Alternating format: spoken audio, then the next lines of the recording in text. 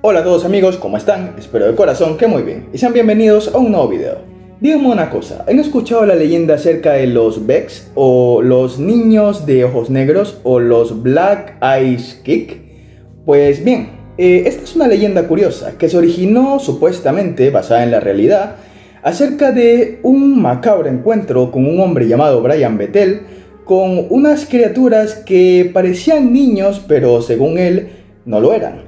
Acompáñame a ver esta historia algo extraña que te recalco desde ahora que como siempre en mis videos no tratamos de probarle absolutamente nada a nadie, toma estos videos simplemente como un mero entretenimiento, como siempre digo en mis videos, y simplemente saca tus propias conclusiones acerca de este tema. Bien, aclarado esto, vamos a comenzar con este tema.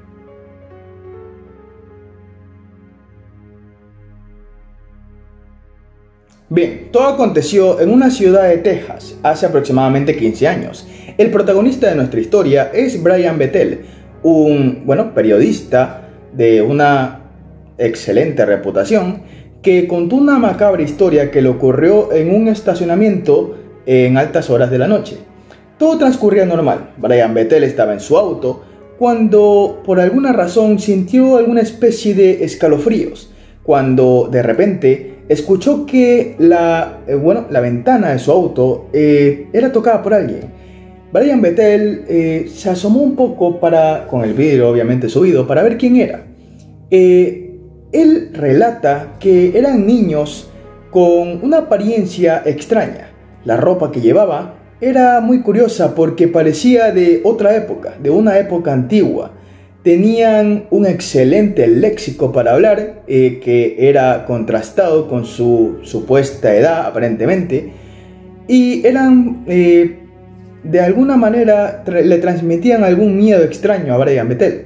Bien, el asunto de estos niños es que estos le pidieron a Brian Bethel que se les había quedado el dinero para regresar a casa y no podían regresar a casa, y que si él los podía llevar a casa.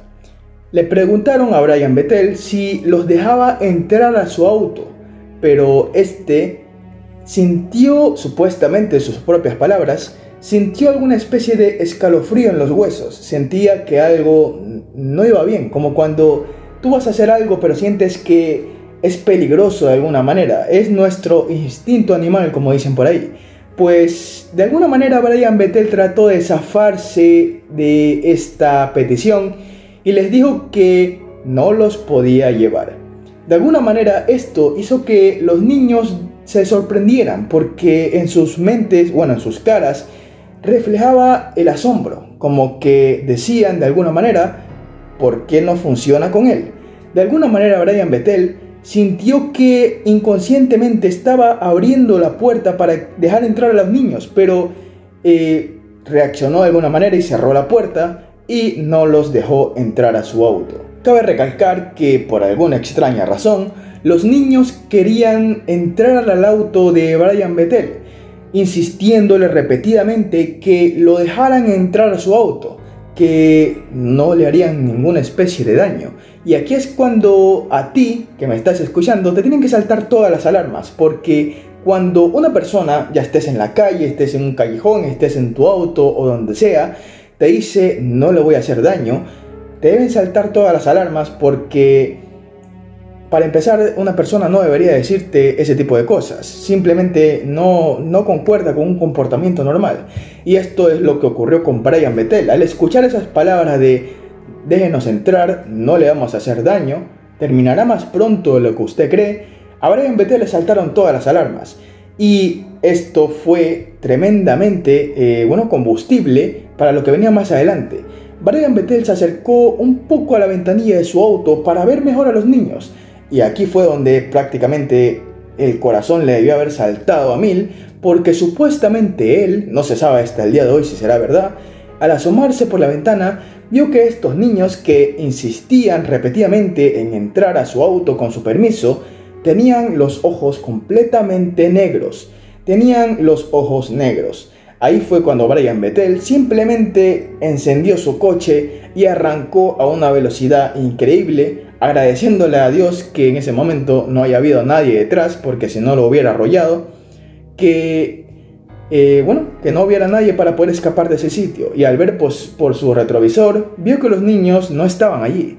Entonces, esta historia se fue propagando por internet y a partir de aproximadamente el año 2007 más o menos, comenzaron a surgir en internet historias similares de supuestos encuentros en todo el mundo, no solo en Texas, sino en países incluso de Latinoamérica, Estados Unidos, Europa, encuentros con estas extrañas criaturas. Pero bien, vamos a ver ahora con la teoría de qué son estos seres. Pues obviamente existe la posibilidad de que todo sea un engaño y simplemente sean leyendas para llamar la atención. Es una teoría que siempre hay que plantearse, pero existen otras alternativas. Pues bien, analizando desde el punto de vista mitológico y tal vez demonológico, estas criaturas de ojos negros que de alguna forma necesitan el permiso de su, entre comillas, víctimas para ejercer lo que sea que le hagan, necesitan el permiso de esta persona para poder eh, hacer esta cosa. Como por ejemplo, insistiendo tanto a Brian Bettel para que abriera su auto y les dieran permiso de acceder a su auto. Es decir, no podían simplemente entrar a la fuerza, romper el vidrio y entrar y hacer lo que tenían que hacer. Simplemente necesitaban el permiso de su, bueno, víctima, podremos llamarlo así. Esto se contrarresta con el folclore de diversas culturas del mundo. Por ejemplo, en Europa se creía que los vampiros necesitaban el permiso de su víctima, o bueno, el permiso de una persona, para entrar en sus casas. Necesitaban que la persona les dijera adelante. Necesitaban que la persona les diera un permiso para poder acercarse o entrar en un recinto. Pues esto se asemeja curiosamente a estas leyendas de los niños de los ojos negros. E incluso estos supuestos ojos negros característicos de estos seres podrían reflejar que son alguna especie de vampiro. Porque supuestamente también en el folclore de diversas culturas del mundo, no solo en Europa, los vampiros tienen los ojos completamente negros en algunas leyendas y folclore porque no poseen un alma, es decir, están vacíos por dentro. Y el hecho de que tengan ojos negros, y Brian Bettel describió a estos niños como muy educados, muy excelsos, tenían un dialecto que no parecía para su edad y parecían personas adultas en cuerpos de niños. Tenían ojos negros, tenían supuestamente el piel pálida y tenían ropaje que no pertenecía a su época, como si hubiera sido de una época muy antigua, ¿no? Entonces, para algunos amantes del misterio, estas supuestas criaturas o seres o niños de ojos negros son vampiros que necesitan el permiso de su víctima para acercarse a ella y hacer lo que tienen que hacer con ella. Pero otros dicen que no, que son entidades malévolas, entidades de otros planos, demonios, que necesitan el permiso de la persona o de su víctima para acercarse y entrar en su vida y comenzar a hacerles daño. Esta también es una de esas tantas leyendas que existen en la demonología acerca de estas criaturas de otros planos que se aprovechan de los seres humanos pero necesitan de alguna forma el permiso del ser humano o que éste tenga una energía muy baja para poder alimentarse de ellos, no solo carnalmente, sino también espiritualmente. Es una teoría que existe y la verdad es muy curiosa, pero hasta el día de hoy no existe una teoría válida, ni siquiera sabemos si es real esto de los niños de los ojos negros, pero es una leyenda un poco macabra si los piensas bien porque nos refleja que no podemos confiar en nadie, es decir, si por ejemplo yo algún día estoy en un estacionamiento en mi auto y me toca la ventana alguien, voy a acordarme de esto y voy a tener mucho recelo porque dejando de lado que sea algo sobrenatural, tal vez son personas que no tengan buenas intenciones, así que es algo que, que afecta, ¿no? Que afecta a la psique humana, podríamos decirlo así, y que produce un miedo en alguien que escucha este tipo de historias. Por lo menos a mí me dejaría pensando, obviamente, si estaría en esa situación. Pero hasta el día de hoy no se sabe si esta leyenda será real, será un invento de Brian Bettel, aunque es curioso que otras personas en el mundo digan lo mismo.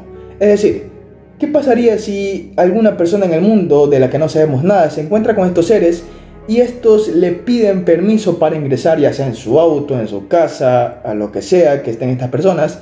¿Qué pasaría? ¿Qué harían estos seres? ¿Qué le harían a estas personas?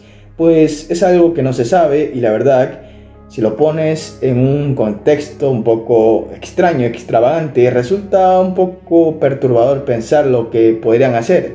Pero en fin, es una de esas leyendas que, que resultan curiosas y algo macabras de las que tanto nos gusta hablar en este canal. Pues bien, déjenme ahí abajo en la caja de comentarios qué opinan acerca de esta leyenda. ¿Sabían acerca de ella? Creo que todo el mundo, o por lo menos los amantes del misterio, sabrán acerca de ella. ¿Qué opinan acerca de estos seres? Eh, ¿Creen que son falsos? ¿Creen que son reales? ¿Creen que son personas con malas intenciones? ¿Creen que son vampiros? ¿Creen que son entidades de otros planos con malas intenciones? Existe un mundo de posibilidades, la verdad, así que déjenmelo ahí abajo en la caja de comentarios. Créanme que me va a encantar leerlo. Como siempre, muchas gracias por ver, de verdad lo aprecio. Si les gustó el video, no olviden de dar un like, compartir, comentar y todo eso que siempre les digo, ¿no? Les mando muchas buenas vibras, mis mejores deseos y bendiciones para todos ustedes, amigos míos. Y no me despido sin antes decirles que nos vemos en un próximo video. Bye bye.